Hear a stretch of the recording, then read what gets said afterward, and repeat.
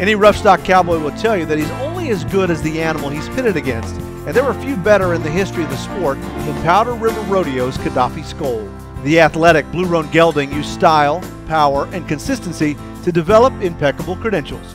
Hank and Lori Franzen purchased the gelding from Ray Sanborn in 1989, knowing there was potential, but with no expectation that this soon to be world class bronc would become the cornerstone of their company. The previous owner, Ray Sanborn, had tried on multiple occasions to saddle break Khadafy to no avail, a fact not lost on the top bareback riders in the world.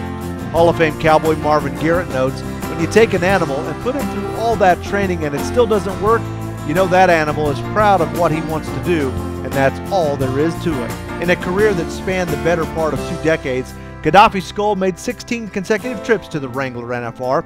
He was named Bareback Horse of the Year three times. He won Top Stock Award at the Wrangler NFR on three occasions as well. And in 1996, he won both.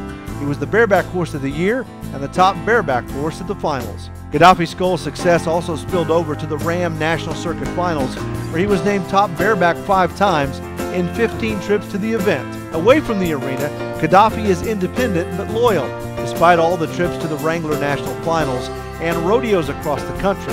Today, at the age of 29, the gelding is still leery to let anyone other than Hank get close enough to touch him. Lori Franzen adds, what he accomplished in his career is about second to none. The horse delivered millions of dollars to cowboys and nothing but phenomenal things for us and our company. I just couldn't think of an animal that deserves it more than him. Great broncs make great cowboys, and Khadafy Skoal certainly did his part.